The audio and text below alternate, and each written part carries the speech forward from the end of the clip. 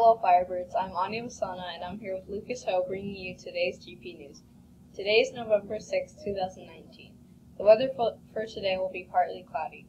The current temperature is 64 degrees, and today there will be a high of 80 degrees. Today for lunch we're having chicken bites with garlic breadstick, mashed sweet potatoes, and fresh apples. In other GP news, the book fair will be open today and tomorrow from 7:45 a.m. to 3:30 p.m.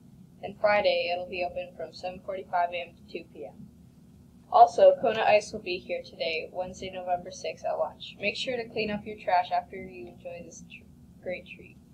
And JHS is bringing back the canned food drive this year.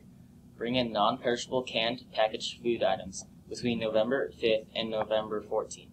Please try to bring in substantial items such as peanut butter, pasta, pasta sauce, tuna, canned vegetables, and fruit, not tons of ramen noodles. The winning homerooms in each grade band, K through 2nd, 3rd through 5th, and 6th through 8th, will win a treat. Please support our local community.